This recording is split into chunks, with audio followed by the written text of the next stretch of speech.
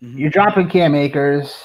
I mean, even if he goes to another team, do we really think he's going to be, you know, serviceable um, for your fantasy squads or a consistent piece? No. And if you drafted him, you are a idiot.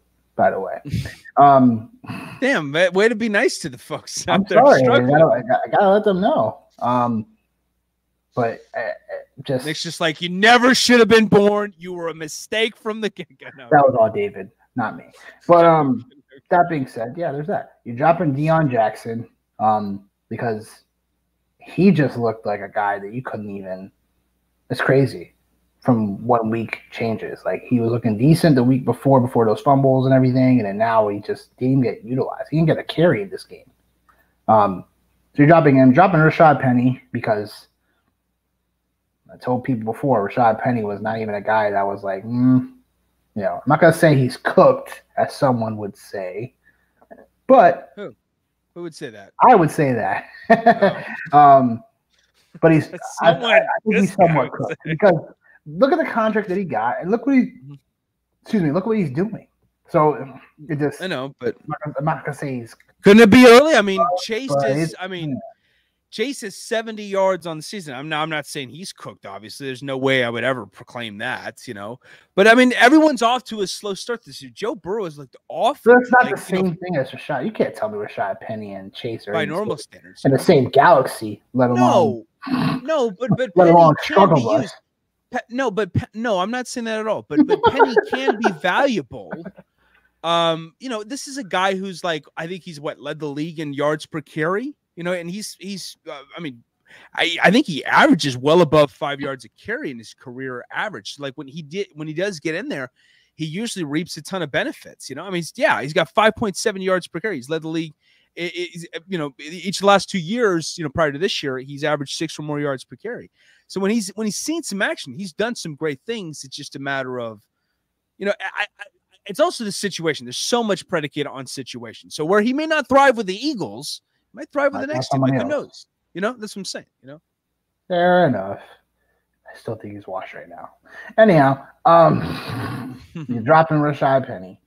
You're dropping Michael Gallup because I don't understand why people love Michael Gallup. Can you can you help me understand this? I don't understand why people like like Michael Gallup. it's I, because once upon a time, this guy was in a 1,000 yard receiver. The point you know? that? it feels like fucking ice age ago, but you know, it, in 2019 he did catch 1100 yards, six touchdowns, was targeted well over 100 times, was targeted over 100 times the following year too. This guy does make some acrobatic catches. I think injuries have affected him to some degree. Um, you know, you can make an argument that losing Amari Cooper too to the uh, the, the Browns kind of uh, uh, mitigated his level of impact as a result because it doesn't open up a ton of opportunities for him. But I, I think Michael Gallup is. I don't want to be too high on him, but like, I, I, I don't know if I'm ever going to completely give up on him as like someone to have on your roster. Is what I'm saying. Just drop him and get him over with. Um, a couple just- other couple other drops.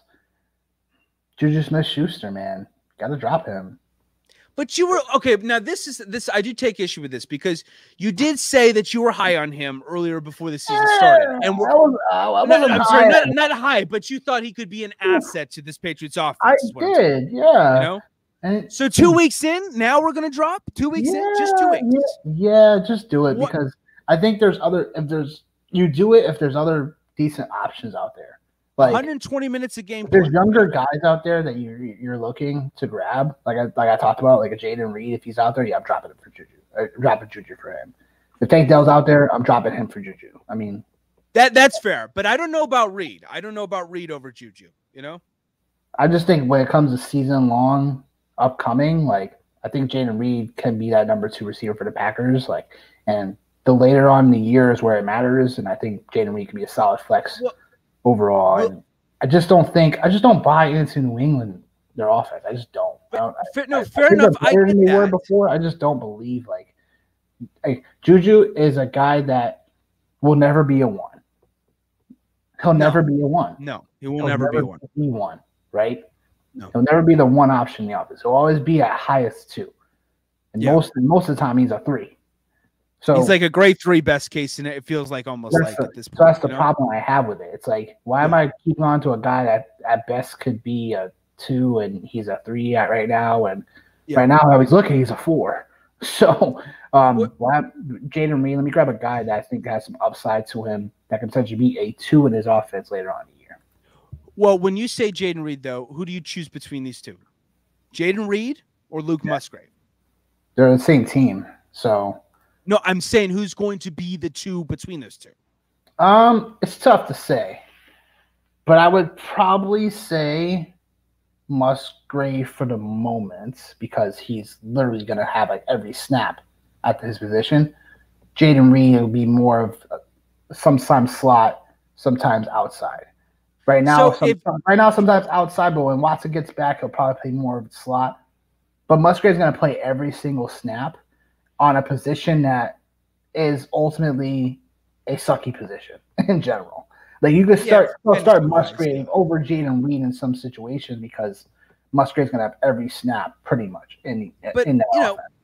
But who knows? I mean, they could find an identity finally within their their their offense. You know, for the first time. I mean, if you want to exclude Robert Tonyan, and the last time was really like it felt like Jermichael Finley. You know, was the last oh, time God.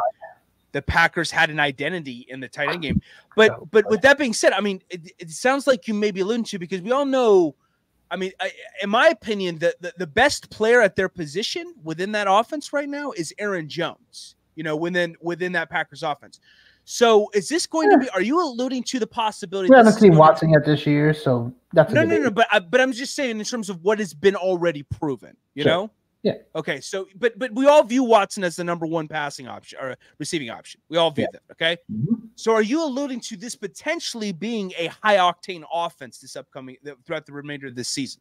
I really think For- that I, I've said I've said this before about Green Bay, and I said it when we were drafting. and I'm gonna say it again. I think the Packers can be an offense that we look at later on in the year, and we're kicking ourselves because we didn't get enough pieces of it. Because Okay.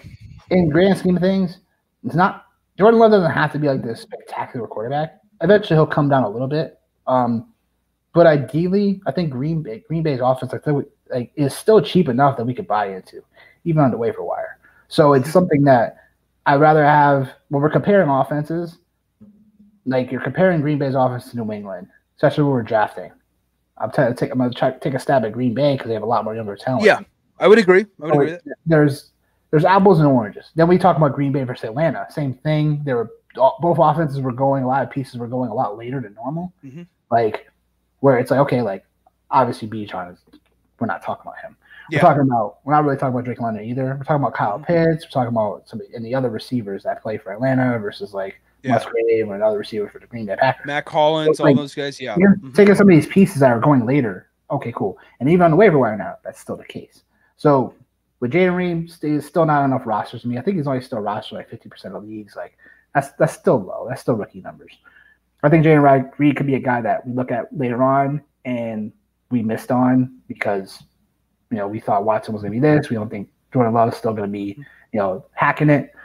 But I do I do believe in the talent.